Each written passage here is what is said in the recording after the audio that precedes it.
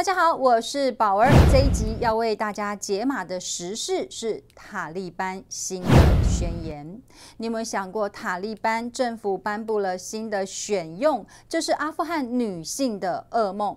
在掌权三年以后，塔利班已经将其严厉的伊斯兰教令编入了法律。现在包括禁止女性在公共场所发出声音，禁止女性接受六年级以上的教育，禁止在大多数的工作场所就业，并禁止进入像公园、健身房和美容院等公共场所。没有男性亲属的陪同的时候，禁止长途旅行。出门的时候也必须全身。遮盖住。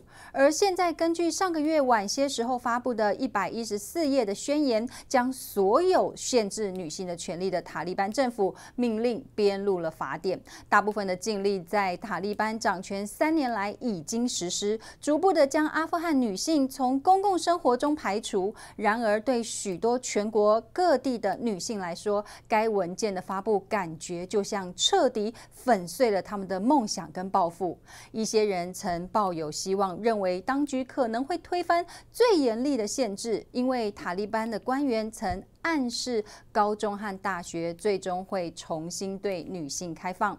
然而，对许多女性来说，这个希望如今破灭。巴格兰省二十三岁的穆萨拉特。法拉马尔兹说：“我们正在回到塔利班的第一个统治时期，那时女性没有权利离开家。他指的是塔利班一九九六年到二零零一年的统治时期。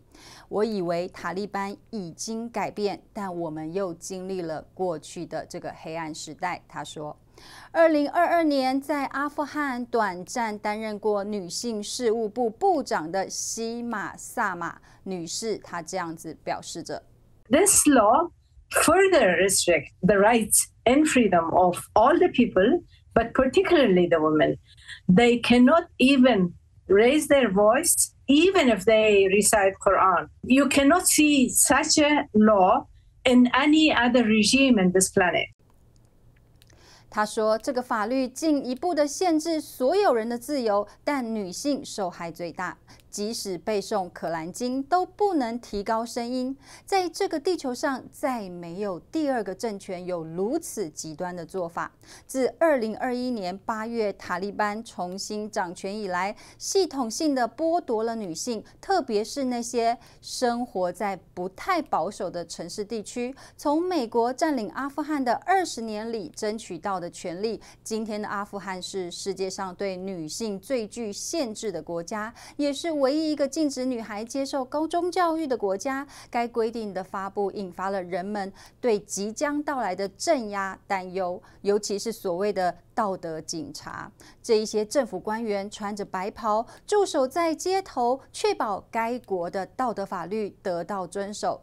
这一次的宣言首次明确了这些官员可以使用执行手段，虽然他们经常只是口头警告，但现在这些官员有权损坏人们的财产，或者是将反复违反道德的法律人拘留长达三天，甚至女性的视觉标志也逐渐从。公共领域消失。过去三年里，女性的面孔被从广告牌上撕下，学校的墙壁上的壁画被涂掉，城市街道上的海报被刮掉，全身穿着遮盖全身罩袍的女性模特的头部被锡纸遮盖。